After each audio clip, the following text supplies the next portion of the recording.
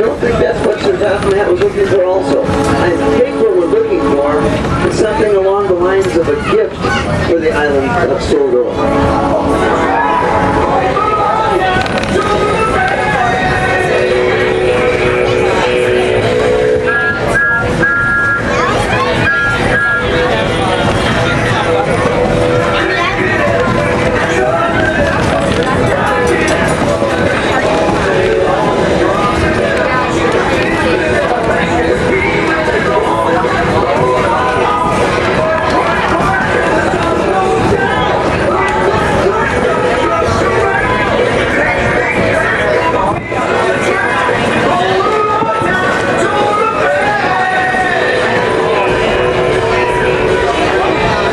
Well, Sir Topham Hatt says that the other clue, another clue is that the something that's very big and the special is very shiny.